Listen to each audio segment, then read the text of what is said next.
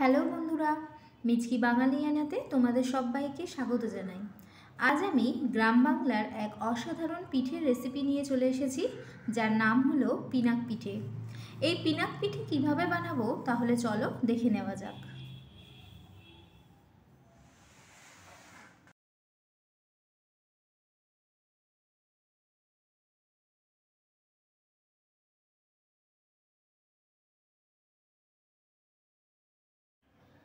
আমি এখানে দুটো ছোট নারকেল নিয়েছি, সেটা ভালো করে কুড়িয়ে নিয়েছি।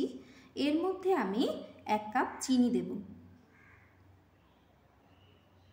আর দিচ্ছি তিনটে ছোট এলাচ, যার মুখটাকে একটু ফাটিয়ে নিয়ে দিলাম। আর দিলাম ওয়ান টিস্পুন আদা, যেটাকে একটু থেতো করে নেব। সেটা দিয়ে আমরা এটাকে ভালো করে মাখিয়ে নেব। এটাকে মাখিয়ে নেবার ফলে চিনিটা একটু গলে গলে যাবে এবং পিঠের পুরটা তৈরি করতে আমাদের অনেকটাই সুবিধা হবে। এটাকে আমরা কুড়ি মিনিট মতো ঢাকা দিয়ে রাখব যাতে চিনিটা একটু গলে গলে যায়। অন্যদিকে আমি একটা পাত্রে দু কাপ ময়দা নেব।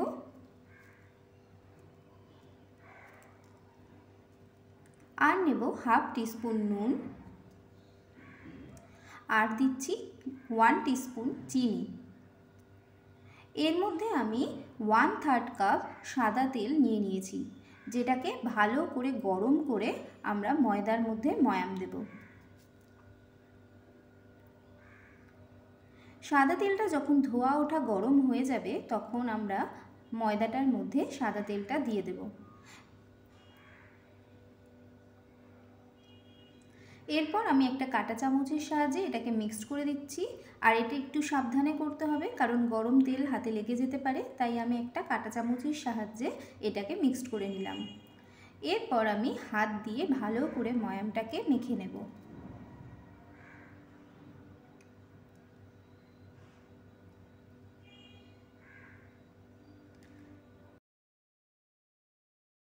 ময়ামটা ভালো করে মেখে নেওয়ার পর যখন এটা হাতের মধ্যে চেপে নিলে একটু বল মতো হয়ে যাবে, তখন বুঝতে হবে ময়ামটা একদম পারফেক্ট মাখা হয়েছে। এরপর আমরা এর মধ্যে জল দিয়ে মেখে নেব। তবে এক্ষেত্রে আমি গরম জল ব্যবহার করিনি। দু কাপ ময়দার জন্য আমাদের এখানে প্রায় দেড়শো এমএল মতো জল লেগেছে। ডোটা আমাদের খুব বেশি শক্ত করে মাখালে চলবে না, আবার এটা যেন আবার খুব বেশি নরমও না হয়ে যায়। ডোটা যদি আমরা খুব শক্ত করে মেখে ফেলি, তাহলে যখন আমরা পিঠেগুলো গড়ব, তাহলে তার শেপ দেওয়া যাবে না।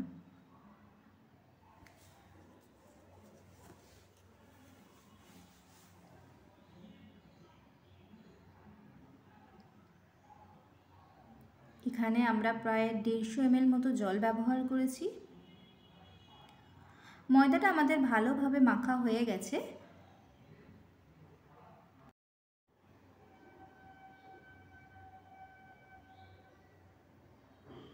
এটা ঠিক এরকম মাখতে হবে। খুব বেশি শক্ত না, আবার খুব বেশি নরম করেও না।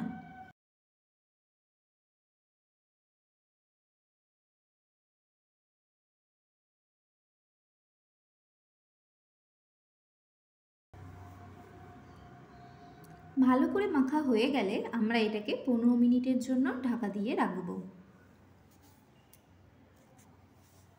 এবার আমরা গ্যাসটাকে অন করে নারকেলটা দিয়ে দেব আর মিডিয়াম ফ্লেমে দিয়েই আমাদের পুরটাকে নাড়তে হবে। এক্ষেত্রে আমরা গ্যাসটাকে একদম মিডিয়ামে রেখেছি।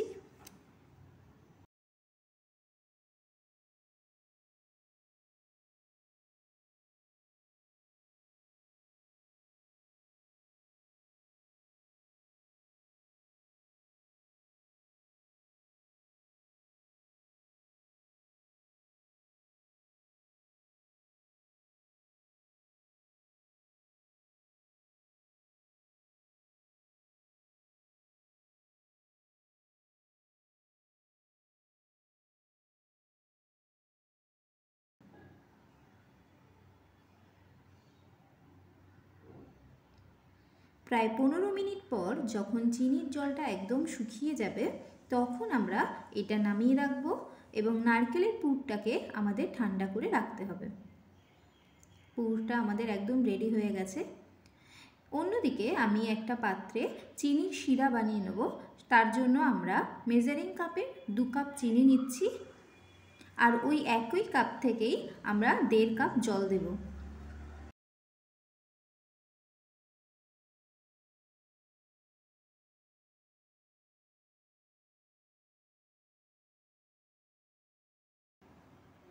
এরপর চিনিটা যতক্ষণ না পর্যন্ত গলে যাচ্ছে, ততক্ষণ আমরা এটাকে একটু মিক্সড করে দেব।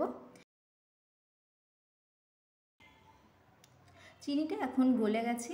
এরপর আমি এর মধ্যে দুটো এলাচ দিয়ে দেব আর এর মুখটা একটু ফাটিয়ে নেব। আমরা চিনির রসটা একতারের বানাবো। চিনির রসটা বেশি পাতলা হবে না। রসটা শুধুমাত্র পিনাক পিঠের গায়ে মাখিয়ে নিতে হবে। খুব বেশি পাতলা হলে রসটা ভেতরে ঢুকে যাবে আর তখন খেতে একদমই ভালো লাগবে না। এরপর আমি এর মধ্যে চার পাঁচ ড্রপ লেবুর রস দিয়ে দেব। এক্ষেত্রে কি হবে? চিনির রসটা যখন ঠান্ডা হয়ে যাবে সেটা জমেও যাবে না। আর যদি চিনির মধ্যে কোনো রকম ময়লা থাকে, তাহলে আমরা সেটা ওপরে উঠে এলে পরিষ্কার করে নিতে পারব। চিনি শিরাটা বানানোর সময় আমি কিন্তু গ্যাসটা মিডিয়ামে রেখেছিলাম আর শিরাটা আমাদের একদম রেডি হয়ে গিয়েছে। এরপর আমরা গ্যাসটা অফ করে দেব। এবার আমরা ময়দার ঢাকনাটা খুলে সেটাকে আরও দু মিনিট মেখে নেব।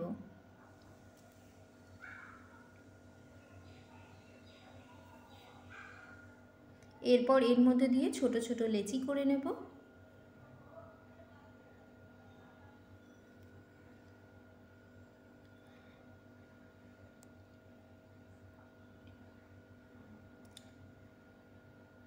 এরপর একটা লেচি নিয়ে সেটাকে ভালো করে গোল করে আমাদের বেলে নিতে হবে।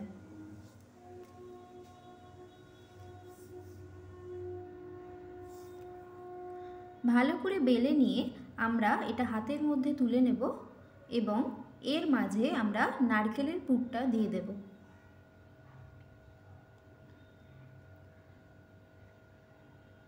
এরপর আমি এর চারধার দিয়ে হাতে করে জল লাগিয়ে দেব যাতে করে পিঠিটা ভাজার সময় এর মুখটা খুলে না যায়। ভালো করে জল লাগিয়ে দিয়ে আমরা এটাকে মাঝখান থেকে মুড়ে দেব। এটাকে মুড়ে দিয়ে ভালো করে দুদিক দিয়ে চেপে দেব।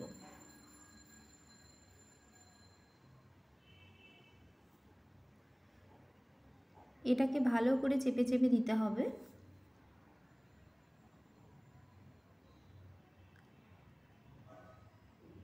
এরপর আমি একটা কোণ দিয়ে আমরা প্রথমে মুড়ব।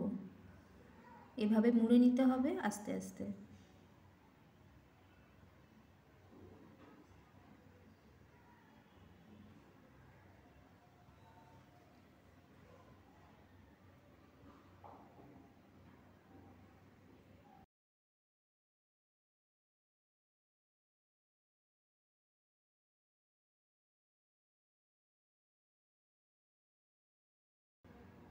আমাদের এটা এভাবে মুড়ে নিতে হবে ধীরে ধীরে।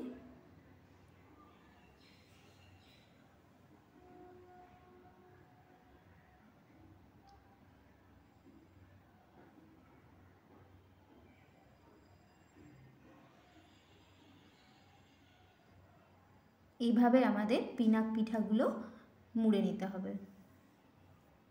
আমি আরও একটা করে নিচ্ছি।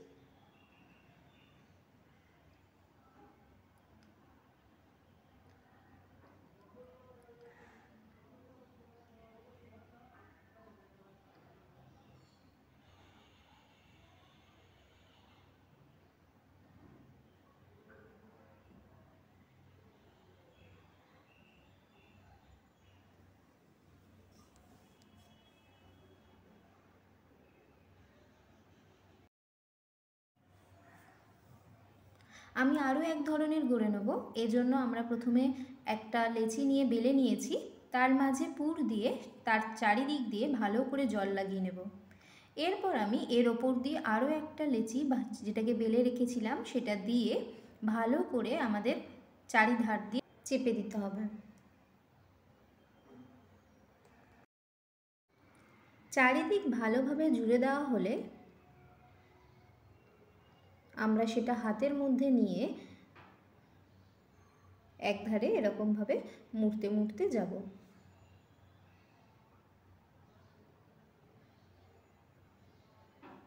এভাবে আমাদের মুড়তে মুড়তে যেতে হবে। তাহলে আমাদের আরও এক ধরনের পিঠার ডিজাইন তৈরি হয়ে যাবে।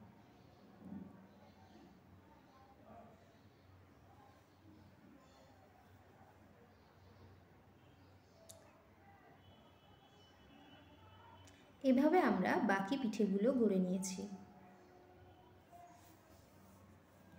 এরপর আমি কড়াইতে সাদা তেল দিয়ে দিই সেটা একদম যখন ঈষদ উষ্ণ গরম হবে, তখন আমরা একে একে পিনাক পিঠাগুলো এর মধ্যে দিয়ে দেব।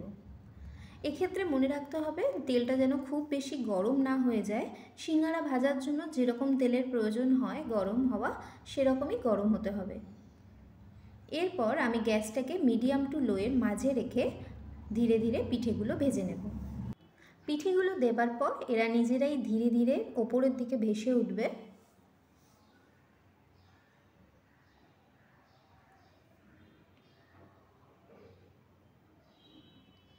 এটাকে খুব বেশি লাল করে আমাদের ভাজলে চলবে না, একদম হালকা গোল্ডেন ব্রাউন করে ভাজতে হবে।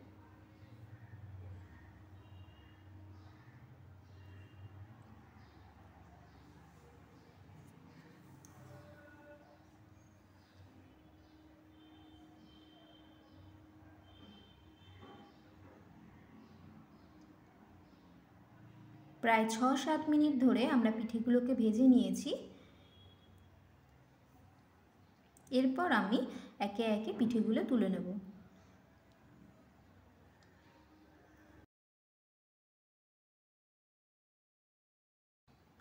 এর থেকে বেশি লাল আমরা করব না।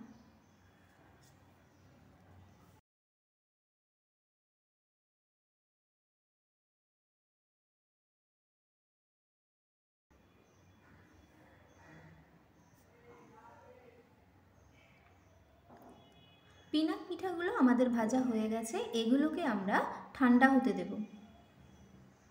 এগুলোকে আমাদের ভালো করে ঠান্ডা করে নিতে হবে।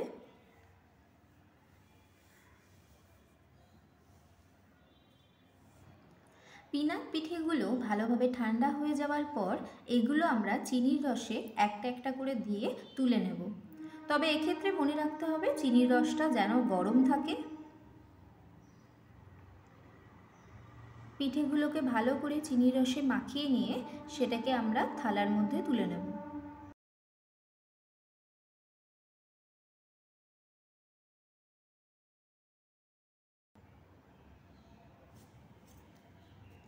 এইভাবে আমরা বাকিগুলো করে নিচ্ছি।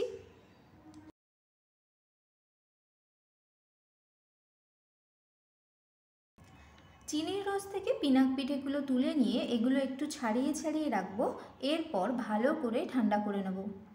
চিনির রস যখন পিঠেগুলো একদম টেনে নেবে, তখন এটা একদম রেডি হয়ে যাবে। পিনাক পিঠাগুলো একদম রেডি হয়ে গিয়েছে।